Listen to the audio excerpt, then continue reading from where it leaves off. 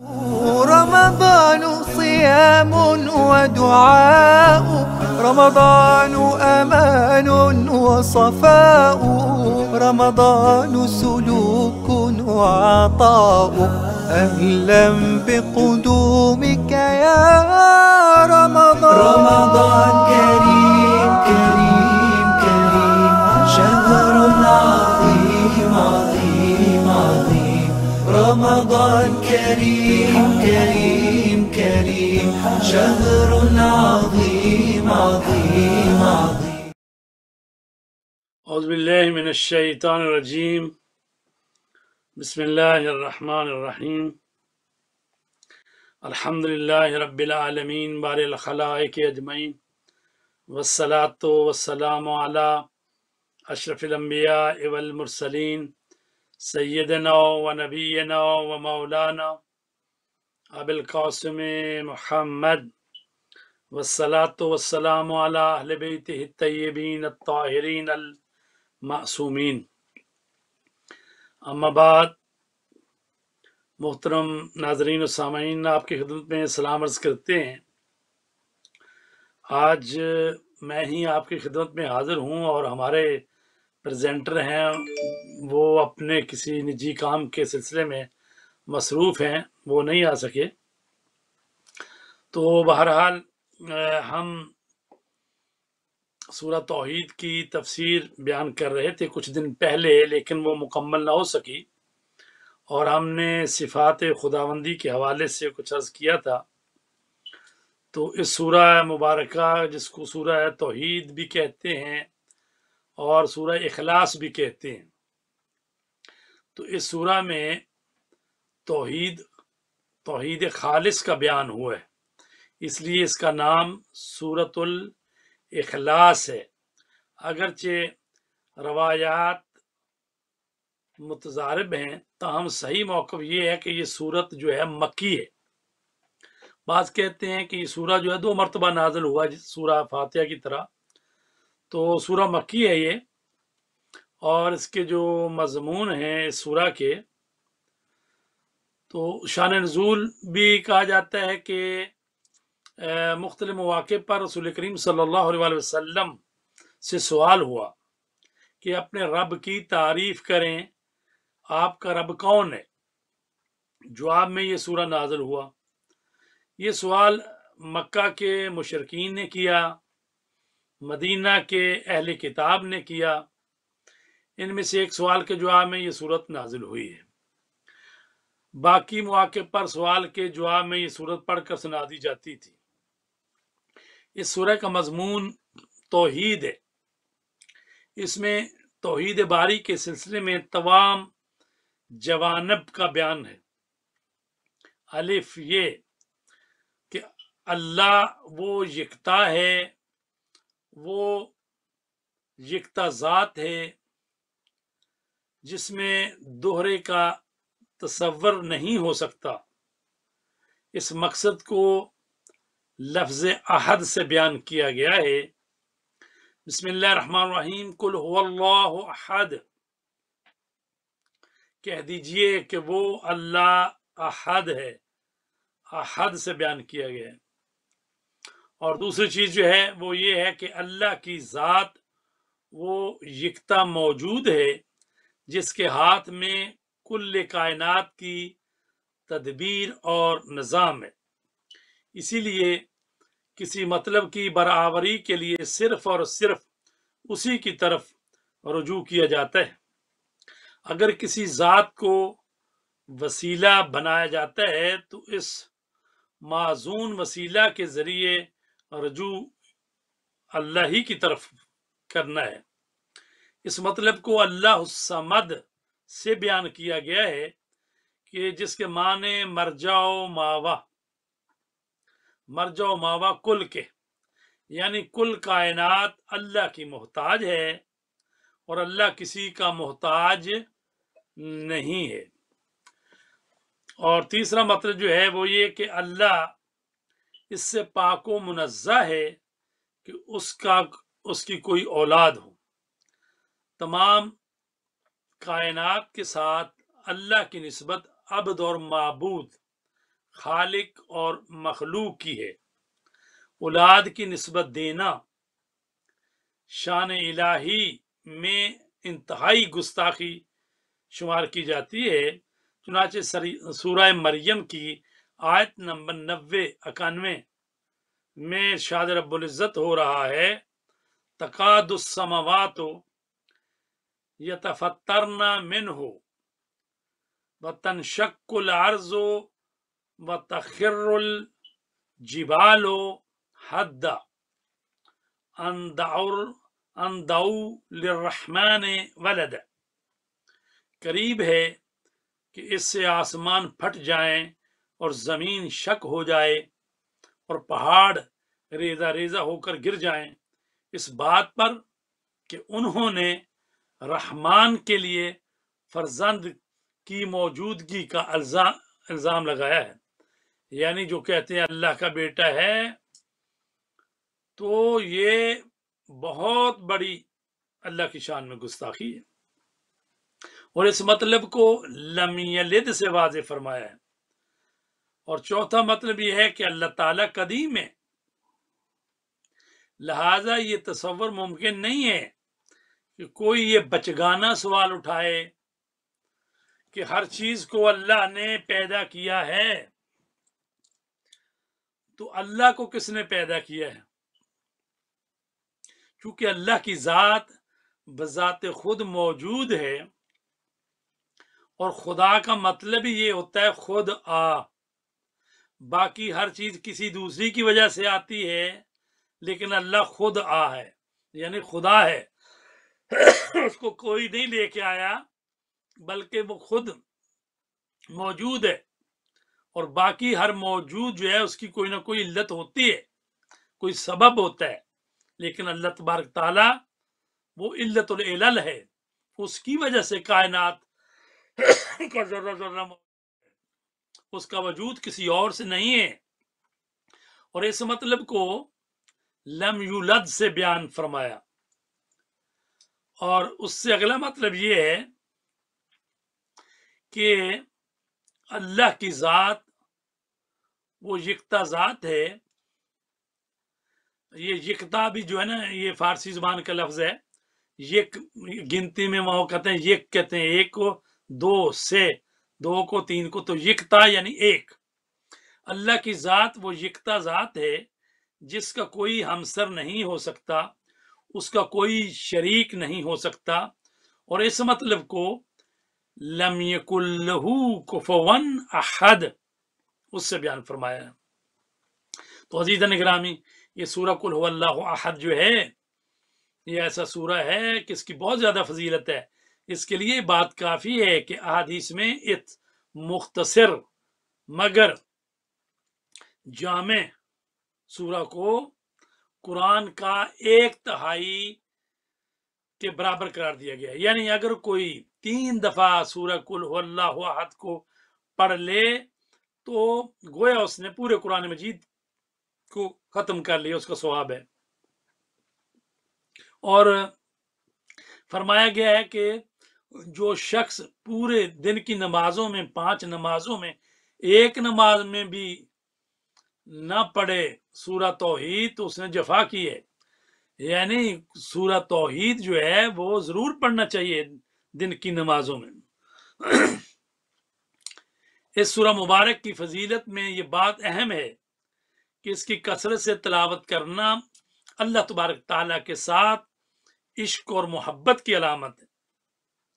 और उस शख्स को अल्लाह की मोहब्बत की सादत हासिल होती है जो सूरा को कसरत से पढ़ता है। चुनाचे किताब तोहीद में मजकूर है। आमर बिन हसीन ने रवायत की है कि रसूल पाक वसल्लम ने हज़रत अली को एक मुहिम पर सरदार बनाकर भेजा। जब वो वापस आए तो रसूल पाक ने लोगों से पूछा कि अली तुम्हारे सरदार थे, इस जंग में कमांडर थे तो आपने अली को कैसा पाया? तो उन्होंने कहा, जी, बाकी तो सब खैर है। लेकिन ये बात अजीब हमें लगी कि हज़रत अली हर नमाज़ में सूरह कुल अहद की ही तिलावत करते रहे। तो इस पर जब हज़रत अली से पूछा तो अली ने जवाब दिया, फरमाया कि ले हुब्बी, ले कुल हो अल्लाह यानी कुल हो अल्लाह हो अहद से मुझे मोहब्बत है। इसलिए ये सुनकर रसूल पाक ने फरमाया, जब तक अल्लाह ने आपसे मोहब्बत नहीं की, आपने इस कुल हो अल्लाह अहद से मोहब्बत नहीं की। और थोड़े से फ़र्क के साथ ही यही रवायत जो है, सही बुखारी और सही मुस्लिम में भी, बीबी आयशा से रवायत है तो इसमें अगरचे बीबी आयशा ने नाम नहीं लिया, कहा कि एक शख्स से कहा गया कि जो क्यों वो नमाज़ में ये कुल अल्लाह पढ़ते हैं हर वक्त। तो उस वक्त उन्होंने कहा कि मैं चूँकि अल्लाह ताला से मोहब्बत करता हूँ और सूरह कुल अहद, अल्लाह की तोहद पर मबनी सूरह है तो ज़ाहिर है कि आज ही बहुत से लोगों को हज़रत अली का महबूब खुदा होना जो है वो गिरा गुजरता है। तो अजीजा ने ग्रामी ये सूरह मुबारक के, जिसकी पहली आयत, बिस्मिल्लाहिर्रहमानिर्रहीम, बिना में खुदा रहमान रहीम कुल अहद, कह दीजिए, वो अल्लाह एक है। अभी कुल कुल का मतलब होता, कह दीजिए, सीगा अमर का होता है ये, कुल। मुखातब से कहा जाता कुल। आप कह दें। तो इसका मुखातब कौन है? रसूल करीम वसल्लम की ज़ात ग्रामी। रवायात के मुताबिक मुशरकिन यहूद ने रसूल पाक से सवाल किया कि जिस यकता रब की तरफ़ आप हमें दावत देते हैं, उसका वस बयान करें, वो कैसा है? इस पर यह सूरा नाजिल हुआ। हुआ कुल हुआ कुल अल्लाह अहद। तो ये जो होवा है अक्सर मुफसरीन जो कहते हैं कि लफ्ज होवा जो है, ये ज़मीर शान है। ये ज़मीर शान क्या होता है?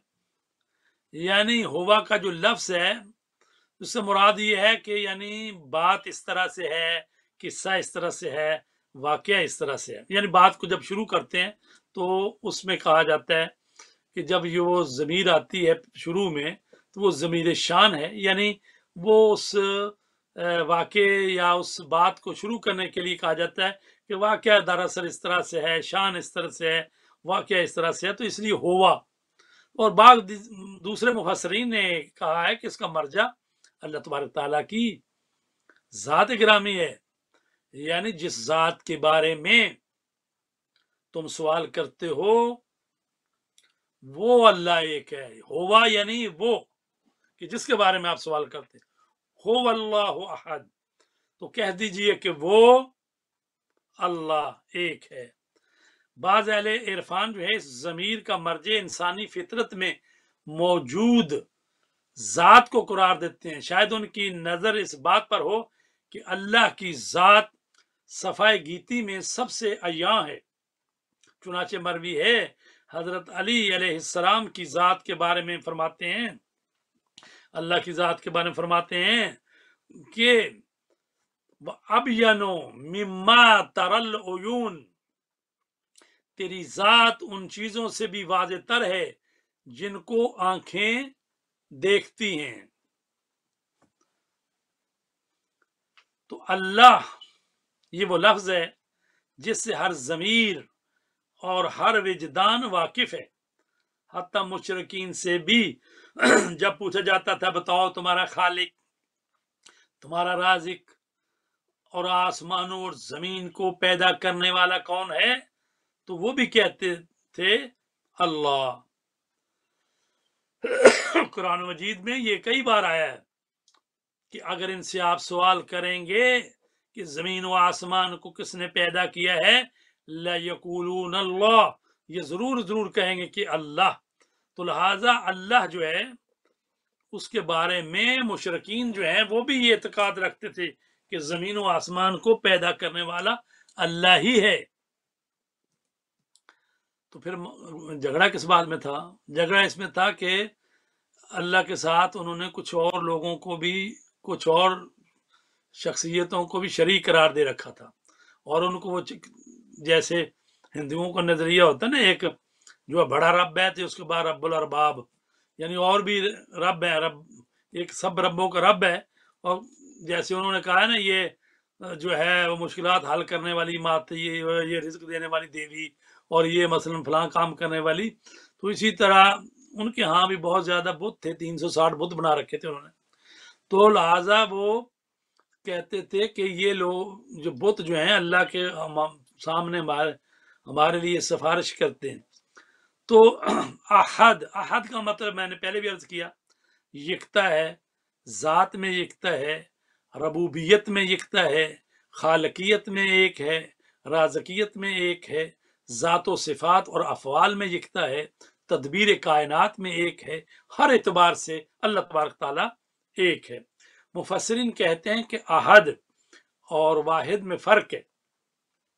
वाहिद उसको कहते हैं जिसमें कसरत पाई जाती है। यानी वाहिद के बाद इसनैन और सलासा भी सलास अरबा ये गिनती के बाकी अल्फाज भी आते हैं और उसको भी वाहिद कहते हैं जिसमें कसरत का शायबा मौजूद हो। जैसे एक कौम एक कबीला एक हालाँकि वो, वो कौम जब हम कहते हैं तो कौम में तो सैकड़ों अफराद हैं। कबीले में भी बहुत सारे अफराद हैं लेकिन हम कहते हैं एक कौम एक कबीला एक आलम तो ये वो हैं कि जो कसरत कबूल करते हैं। तो कुरान मजीद में अल्लाह तबारक ताला को जब हम वाहद कहा गया है, अल्लाह ताला ने जब वाहद कहा है तो अजाफे के साथ कहा है। जब भी कुरान मजीद में लफ्ज वाहिद आया है तो अजाफ आया, इलाहुन वाहिद, अलवाहिदुल कहार। लेकिन जो अहद जब आया है तो कहा गया, कुल हो अल्लाह अहद। लिहाजा अहद उसे कहते हैं जो किसी इतबार से भी कसरत को कबूल न करे। तो अजीजा ने ग्रामीण अल्लाह की वहदानियत के बारे में चार किस्म के दर्जात के हम कायल हैं। अल्लाह की वहदानियत के हवाले से चार किस्म के नज़रिए पहली चीज़ क्या है? तोहीद ज़ात या आप कह रहे हैं तोहीद के मरतबे हैं या तोहीद की किस्में हैं? बहरहाल तोहीद ज़ात, अल्लाह ताला की ज़ात यकता है जिसमें किसी किस्म की कसरत का शायबा नहीं, उसके अज्जा नहीं है, यानी वो मरकब नहीं है कि अज्जा की कसरत हो जाए। उसकी ज़ात व सिफात में कसरत नहीं, ज़ात और सिफात अलग अलग नहीं है। दूसरी चीज़ है तोहीद सिफात। अल्लाह ताला के सिफात जा से जुदा कोई अजाफी चीज़ नहीं है। जैसे इंसान में, कि इंसान की जात है और इल्म है।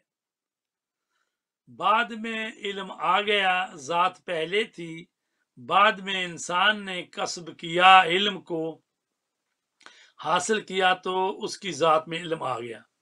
लेकिन अल्लाह की सिफात एन ज़ात हैं, जायद बर ज़ात नहीं है, यानी ज़ात पर अजाफा नहीं है, बल्कि एन ज़ात जब हम कहते हैं, अल्लाह आलिम है तो इसका मतलब ये नहीं कि अल्लाह को इल्म हासिल है, बल्कि उसका मतलब ये है, अल्लाह उस ज़ात को कहते हैं कि जिसकी ज़ात इल्म से इबारत है। मसलन बेनवान मिसाल लफ्ज चार जो अदद है चार, वो जुफ्त है। तो क्या ऐसा है कि अदद चार जो था, वो चार था बाद में जुफ्त आया? या ना, बल्कि चार जुफ्त है, चार जात है, जुफ्त उसकी सिफत है, यहाँ जात और सिफत एक है। ऐसा नहीं हो सकता कि हम इसे चार का तस्वुर करें। जो जुफ्त ना हो, बाद में उसे जुफ्त की सिफत मिल गई हो। बल्कि चार कहते ही उसे हैं जो बजात खुद हकीकत में जुफ्त हो। इसी तरह हम अल्लाह उसे कहते हैं जो बजात खुद आलिम हो। ऐसा नहीं है, एक अल्लाह की ज़ात है, फिर उस ज़ात ने इल्म हासिल किया तो वो आलिम कहलाए। ऐसा नहीं है। अमीर मोमिन अली वसलाम फरमाते हैं अव्वलुद्दीन मारफत व कमाल मारफत ही तस्दीक बही, व कमाल तस्दीक बही तोहीद व कमाल तोहीद ही अल इखलास लहू। को दीन की इब्तदा अल्लाह की मार्फत है।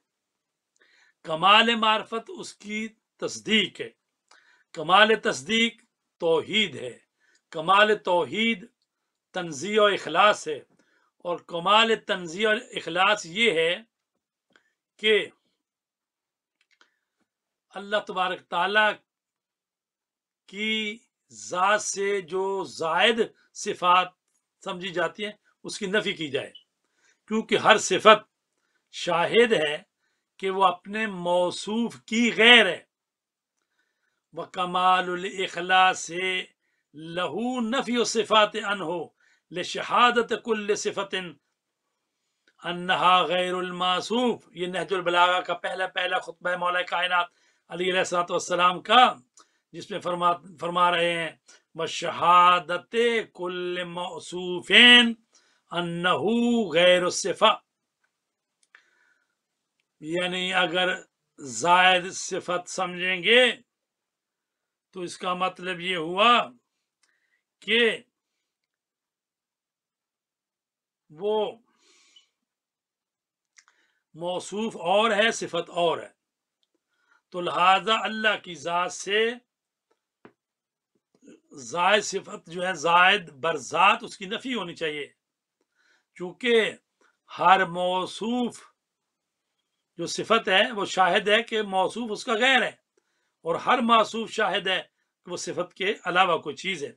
इसीलिए कुरान में किसी भी जगह अल्लाह के लिए सिफत या सिफात नहीं कहा गया। चूँकि सिफत कहने में सिफत मौसूफ दो का तस्वर आता है, बल्कि कुरान ने इन सिफात को असमाउल हुसना कहा है, चुनाचे इसम और मुसम्मा दो नहीं है।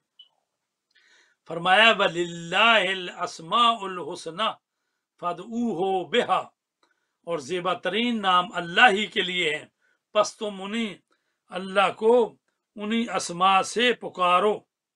तो अजीजा ने ग्रामी, तोहीद ज़ात, तोहीद सिफात और तीसरी है तोहीद अफ़ाल यानी अल्लाह तबारक ताला के जो काम हैं, उन कामों में अल्लाह तबारक ताला जो है, वो अपने कामों में किसी गैर का मोहताज नहीं है। अल्लाह ताला के अफ़ाल में किसी की शिरकत नहीं है। वो खालिक है तो यकता, राजक है तो यकता, हयात दहिंदा है तो यकता, हयात और मौत भी सिर्फ़ उसी के हाथ में है। यानी अल्लाह अपने अफ़ाल में कामिलन मुस्तकिल है, किसी की भी शिरकत नहीं है। जबकि गैर खुदा किसी काम में भी मुस्तकिल नहीं है। मोहताज होते हैं। अल्लाह अपनी रबूबियत में यकता है। वो यकता कानून दहिंदा है। वो तदबीर कायनात में यकता है। बेयद ही मलकूत कुल्ल शे उसके हाथ में हर चीज़ की सल्तनत है। तो चौथी चीज़ है तोहीद की किस्मों में, वो है तोहीद दर इबादत। तोहीद दर जात ले सक मिसल ही शे तोहीद दर खालिकियत अल्लाह कुल, अल्लाह खालिक कुल्ल शे तो तोहीद दर इबादत क्या है? इया का नबुदु व इया का नस्ताइन तो तोहीद दर इबादत से क्या मुराद है? इबादत और बंदगी सिर्फ़ अल्लाह की होती है। तो कुरान मजीद में इरशाद रब्बुल इज़्ज़त हो रहा है। या अयुहन्नास बुदू रब्बकुम। हेलो वो अपने परवरदिगार की इबादत करो। और दूसरी जगह फरमाया रब्बकुम ला इलाहा शे हो यानी अल्लाह तुम्हारा परवरदिगार है, उसके सिवा कोई मबूद नहीं। वो हर चीज़ का खालिक है, लिहाजा उसी की इबादत करो। तो इन आयात में फरमाया, अपने रब, अपने खालिक की इबादत करो। तो अल्लाह समद, अल्लाह बेनियाज है। समद के क्या माने हैं? समद के माना बेनियाजी से किए जाते हैं, जो समद के असल माने का लाजम है। समद के असल लुगवी माने हैं, मकसूद कुल, मरजा व मावा कुल। यानी कायनात उसकी मोहताज है और उसी की तरफ़ रजू करती है, वो किसी का मोहताज नहीं है और किसी की तरफ़ रजू नहीं करता। हज़रत इमाम अली नकील सलाम से रवायत है कि आपसे पूछा कि समद क्या है? फरमाया असैदुल मसमूद फिल कलील वल कसीर। वो आका जिसकी तरफ़ कलील और कसीर के बारे में रजू किया जाए। चनाचे समद के लिए तोहीद लाजमी है, उसका कोई शरीक ना हो तो वो समद होता है। लम यलिद वलम यूलद, ना उसने किसी को जना और ना वो जना गया। ना वो किसी का बेटा है, ना किसी का बाप है। लम यलिद, उसने किसी को नहीं जना तो यानी वो किसी का बाप नहीं है। वलम यूलद, और जना नहीं गया, यानी उसका कोई बाप नहीं है। तो इसमें अकीदा, नसारा का जो अकीदा है कि मसीह उबनल्ला कि हज़रत मसीह अलैहिस्सलाम हज़रत ईसा अल्लाह के बेटे हैं तो उसकी रद्द है इसमें। और मुशरकिन को भी रद्द है, जो कहते हैं कि फरिश्ते अल्लाह की बेटियाँ हैं। तो अल्लाह ने फरमाया तकादुसमावा तो यता फतरना मिन हो व तनशक्ल अर्जो व तखर्रुल जिबालो हद्दा अंदाउल रहमान वलद करीब है कि आसमान फट जाए ज़मीन शक हो जाए और पहाड़ रेजा रेजा हो जाए इस बात पर कि उन्होंने रहमान के लिए फर्जंद की मौजूदगी का इल्ज़ाम लगाया यानी इतना बड़ा संगीन जुर्म है ये इससे अंदाज़ा होता है कि अल्लाह तबारक ताला को ये कितनी बात नापसंद है वलम यूलद, न वो जना गया, यानी वो किसी की औलाद नहीं। इससे अल्लाह ताला के कदीम और वाजबुल वजूद होने की तरफ़ इशारा है। सिर्फ़ अल्लाह की ज़ात है कि ना उसकी औलाद है, ना वो किसी की औलाद है।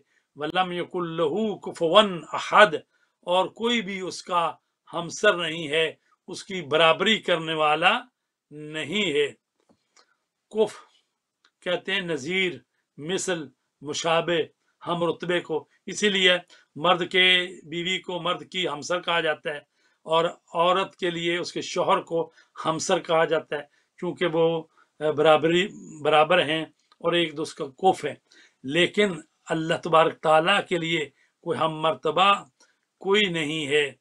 हम मर्तबा कैसे हो सकता है? जबकि वो परवरदिगार है और बाकी सारी कायनात जो है माँ सिवाय अल्लाह उसकी मखलूक है। तो मखलूक और खालिक कैसे बराबर हो सकते हैं? अल्लाह ने मखलूक को अदम से वजूद दिया तो जिसको अदम से वजूद दिया हो, वो कैसे अपने रब के सामने खड़ा हो सकता है? तो लिहाजा अल्लाह तबारक ताला जो है, ज़ात सिफात में उसका कोई हम मरतबा नहीं है। ले सकम इसलिए ही शय, न ज़ात में, न सिफात में, न अफ़ाल में, न खल ईजाद में। न तदबीर कायनात में। शायद ज़ात खुदा में किसी और का हम दर्जा होने का कोई कायल नहीं है। अलबत्ता जैसा कि मैंने पहले अर्ज़ किया कि तदबीर कायनात में बाज लोग जो हैं, वो शिरक करते हैं। लेकिन अल्लाह तबारक ताला जो है, वही खालिक है और वही जो है, तदबीर करता है। रब भी वही है। तो तोहीद जो है, अज़ीज़ निगरामी असल में ये दीन की असास है और पहली असल जो तोहीद है, तमाम आसमानी अध्ययन की बुनियाद तोहीद है। तमाम अम्बिया औसिया अलैहिस्सलाम की बेसत और उनके भेजने का मकसद अकीदा तोहीद की पासदारी है। अगर ये अकीदा ख़त्म हो जाए तो फिर तमाम अम्बिया और मासूमिन की माजल्ला नाकामी की दलील है। जिस तरह हमारे इमामों ने तोहीद समझाई है, वैसी तोहीद पूरे आलम इस्लाम में और कोई नहीं समझा सका। उसके सबूत के लिए उनके फरामीन आज तक मौजूद हैं जो बहुत सी जबानों में मुताले के लिए मौजूद है। कुरान करीम की एक तहाई आयात तोहीद से वाबस्ता है। नहजुल बलागा और सहीफ़ सज्जादिया जैसी अजीम किताबें तोहीद ही के शाहकार हैं। असूल काफ़ी और दीगर अहादीस के मजमू तमाम तर नज़रिए तोहीद की अक्सी करते हैं। और इंसान को ये सोचने पर मजबूर करते हैं कि अगर अहल बैत की समझाई हुई तोहीद न होती तो बहुत से मौजूदा रायज गलत अकीदों का किसी के पास कोई जवाब न होता। मोहम्मद बिन बाबई कुम्मी मारूफ शेख सदूक रहमतुल्लाह की मारकतुल किताब है तोहीद, कि जिसमें तोहीद के बारे में कुरान और हदीस आयमा तहार की तालीमत जो बयान की गई है। और किताब की खूबसूरती ये है कि इस किताब को समझने के लिए अव्वल से आखिर तक पढ़ना ज़रूरी नहीं है, बल्कि जो बाप पढ़ने वाले के लिए दिलचस्पी का बायस हो, उसी का मुताल किया जा सकता है। शेख सदूक ने बाज़ मुश्किल खुतबों और आदीस की तशरी भी फरमाई है, लेकिन इसके बावजूद इल्म कलाम और फ़लसफ़ा के माहरीन ने इस किताब की बहुत सारी तशरियात की है। तो अजीज़ा ने ग्रामी अल्लाह तबारक ताला की तोहीद जो है, वो दीन की असास है, बुनियाद है। इसी तोहीद को बयान करने के लिए एक लाख चौबीस हज़ार अम्बिया आए हैं। तो लिहाजा वो सारे आए हैं कि बंदों को अल्लाह की तरफ़ दावत दें और बंदों को उसके रब की पहचान करवाएँ। तो ये इतना बड़ा जुर्म है शिर करना अल्लाह के साथ। हज़रत लुकमान की जबान हाल बयान करते हुए कुरान मजीद सूरा लुकमान है, उसमें इर्शाद रब्बुल इज़्ज़त हो रहा है। अगरचे ये हकायत किसकी है? यानी हज़रत लुकमान अपने बेटे से कह रहे हैं। क्या कह रहे हैं? या बोनैया, ला तुशरिक बिल्ला इन शिरकल जुल्म अजीम। है मेरे लखते जिगर, अल्लाह से शिरक मत करना। बेशक शिरक बहुत बड़ा जुल्म है। तो इस आयत में शिरक को जुल्म करार दिया गया है। और इतना ही नहीं, बल्कि बहुत बड़ा जुल्म। सबसे बड़ा जुल्म जो है, वो शिरक है। यानी अल्लाह तबारक ताला अपने बंदों को तवज्जो दिला रहा है कि जो भी शिरक करेगा तो गोया उसने खुदा पर जुल्म किया है। दूसरे मुकाम पर शाद बारी ताला होता है इन ला युशरक बे ही, व यगफिर मादून जालिक। बेशक खुदा कभी शिरक को माफ़ नहीं करता। उसके अलावा जो चाहे, माफ़ फरमा देता है। तो इस आयत पर गौर करने से साबित होता है कि हर गुना काबिल अफव अल्लाह तबारक ताला उसको माफ़ कर देता है, कर सकता है, कर देता है। लेकिन शिरक जो है, ये ऐसा गुना है कि अल्लाह तबारक ताला फरमाता है कि अल्लाह शिरक माफ़ नहीं करेगा। यानी अगर इंसान दुनिया से बगैर तोबा किए और ईमान के बगैर चला जाए शिरक की हालत में तो फिर ज़ाहिर है कि अल्लाह तबारक ताला उसको माफ़ नहीं करेगा।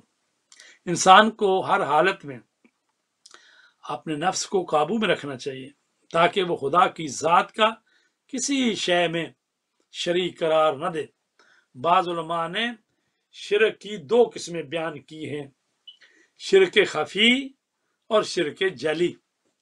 शिरक खफी या छुपा हुआ शिरक उसे कहते हैं जो इंसान दिल में मख्फी किए होता है। जैसे जाहरी तौर पर तो खुदा की इबादत करे मगर दिल में शोहरत को दौलत को इज़्ज़त को तो ये जो है वो ए, काम करे। तो अजीज़ा ने ग्रामी अल्लाह तबारक ताला जो है वो शिर को माफ़ नहीं करता। तो काल है हमारे साथ।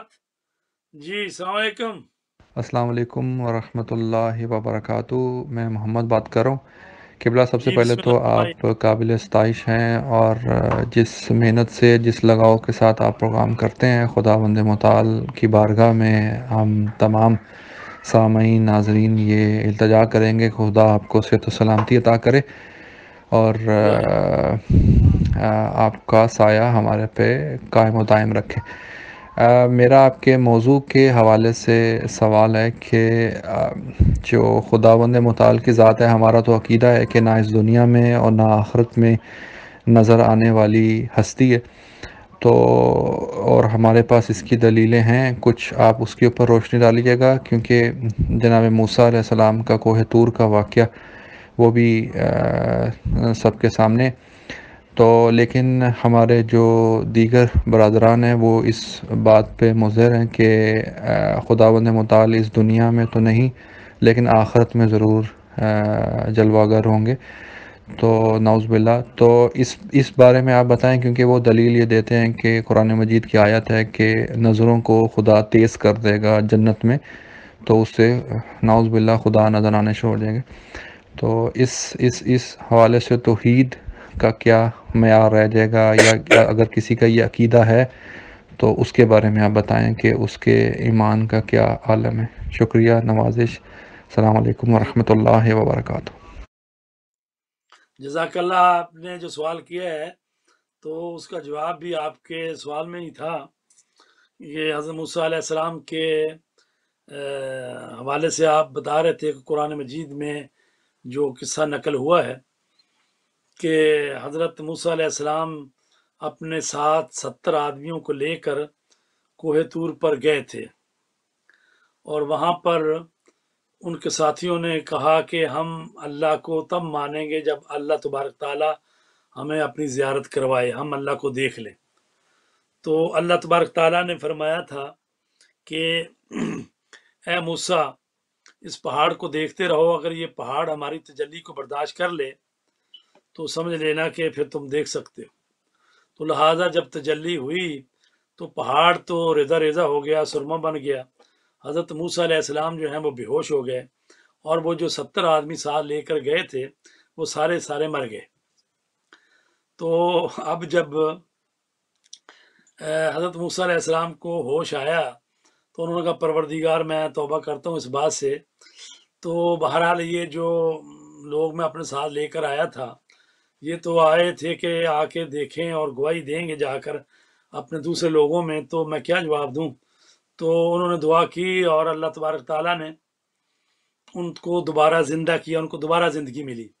एक तो ये भी रजत पर भी है कि जो लोग कहते हैं, नहीं, जो एक दफ़ा जो मर गया, वो दोबारा ज़िंदा नहीं हो सकता, नहीं। जो एक दफ़ा मर गया और अल्लाह तबारक ताला चाहे तो अल्लाह के इज़न से वो ज़िंदा हो सकता है। और हज़रत ईसीम ने भी अल्लाह के इज़न से मुर्दों को ज़िंदा किया। और इसी तरह हज़रत हिजकील की दुआ से भी हज़ारों आदमी पूरी बस्ती ज़िंदा हो गई और इसी तरह हज़रत ओज़ैर जो हैं, वो भी ज़िंदा हुए और फिर उनका जो गधा था, वो भी ज़िंदा हुआ। और तो रजअत में हम ये कहते हैं कि इमाम महदी सलाम आएँगे तो उस वक्त भी कुछ लोगों को ज़िंदा किया जाएगा। तो बहरहाल हज़रत मूसा ने कहा, परवरदिगार, क्या तुझको देखा जा सकता है तो आपने क्या फरमाया? अल्लाह ताला ने, लन तरानी या मूसा। लन तरानी, ये जो लफ्ज़ है, लन तरानी, ये लाम और नून जो है, जब ये फेल मुजारे पे आता है तो उसको नफ़ी अबदी के लिए इस्तेमाल होता है। लन तरानी, यानी हरगिज हरगिज तुम नहीं देख सकते। ये नहीं है कि इस दुनिया में नहीं देख सकते तो आखिर में देख सकते हो। ऐसा नहीं है। लंतरानी, यानी ना तुम यहाँ देख सकोगे, ना तुम आखिरत में देख सकोगे। इसलिए कि जब इंसान किसी चीज़ को देखता है तो उसके लिए ये जो आँखें हैं, ये उस चीज़ को मुकम्मल अहाता कर लेती हैं। एक ख़ास मकदार, यानी ख़ास दूरी पर होनी चाहिए और ख़ास जाविये में होनी चाहिए तो फिर ये आँखें जो हैं इंसान की उस चीज़ को देखती हैं। तो अल्लाह तबारक ताला जो है लामहदूद है वो जिस्म जिस्मानियत से मुबर्रा है, आँखें सिर्फ़ जिस्म को देख सकती हैं।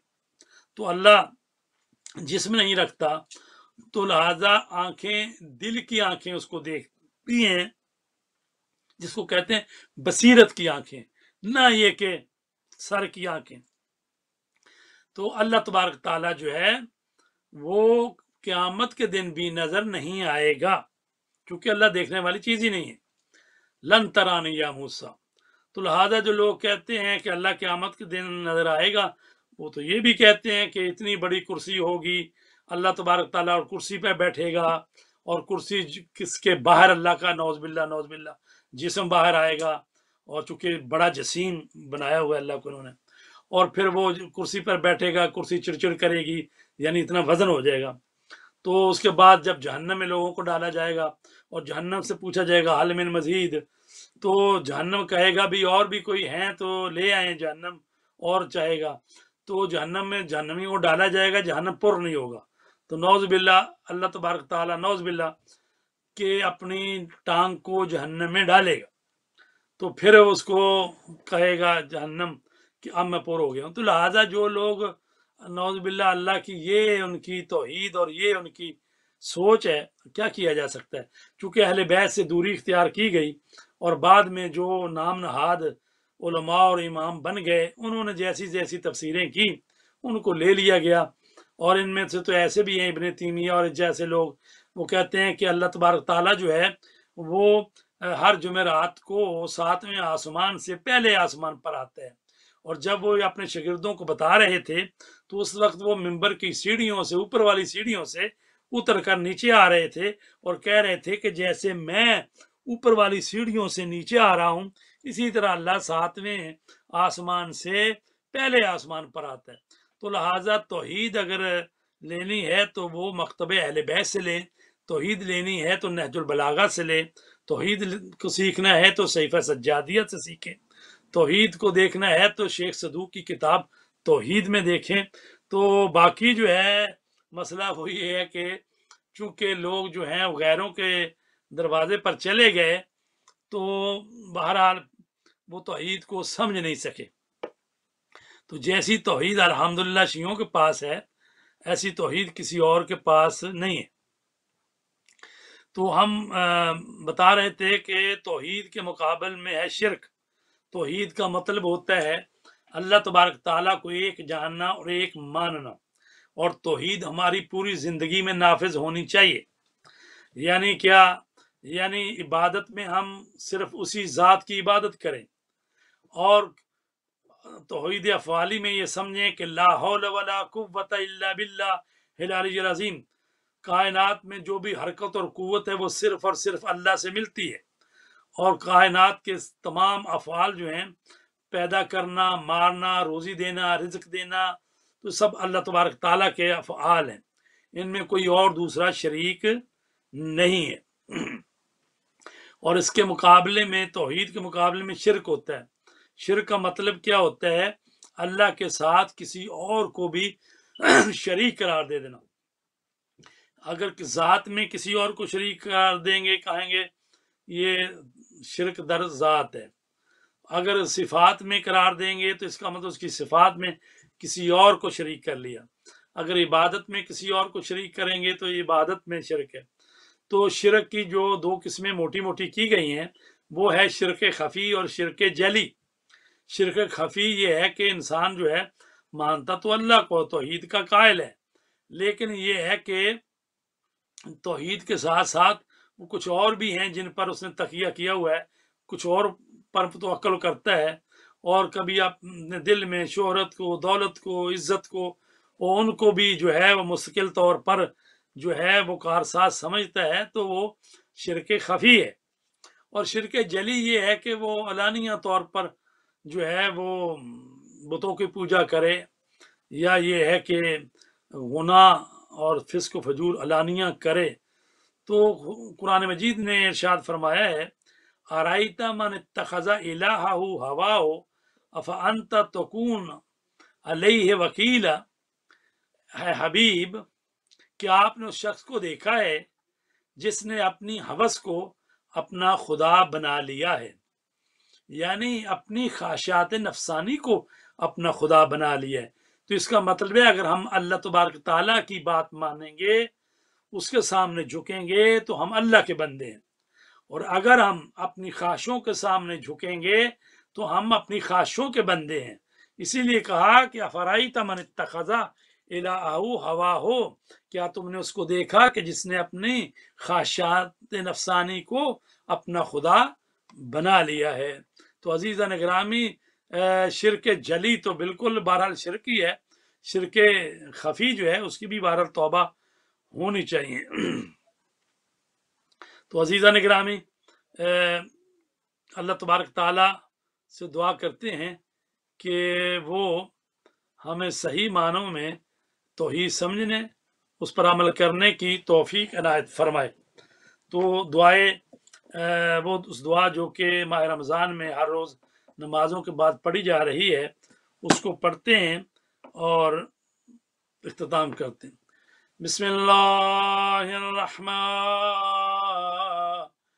बिस्मिल्लाहिर्रहमानिर्रहीम या अलियो या अज़ीम या गफूरो या रहीम अंतर रब्बुन अज़ीम अल्लज़ी लैसा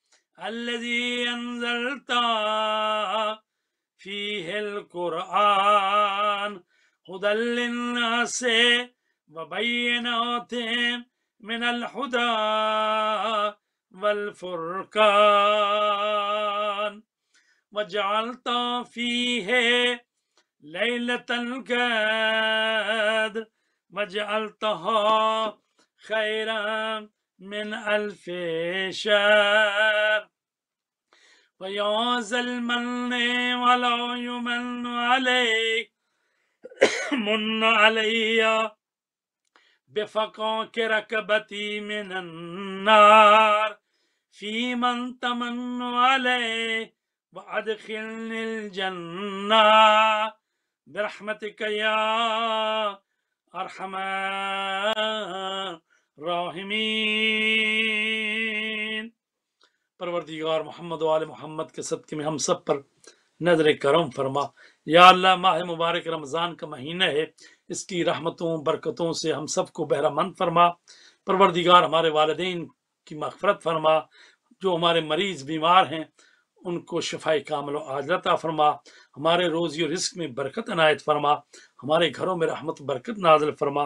परवरदिगार, जुल्फ़कार टीवी को जो चला रहे हैं बरदरान, परवरदिगार, उनकी तोफ़ीक़ात खैर में इजाफ़ा फरमा।